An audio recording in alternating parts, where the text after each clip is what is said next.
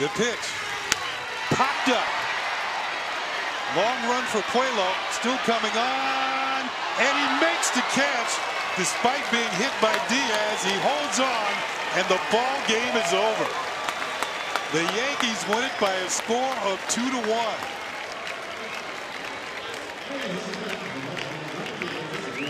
Cesar Puello holds on for dear life as the Yankees